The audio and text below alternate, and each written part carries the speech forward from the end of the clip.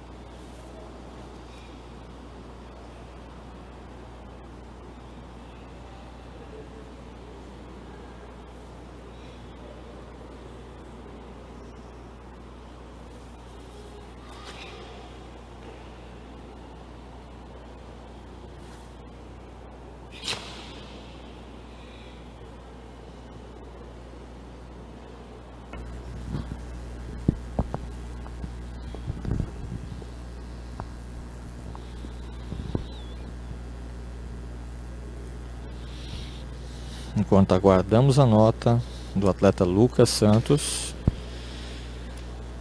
vamos atualizar o resultado. Com a execução do Katakanko Show, o atleta William Santos assumiu a primeira colocação com 23,58 pontos, assumiu o primeiro lugar.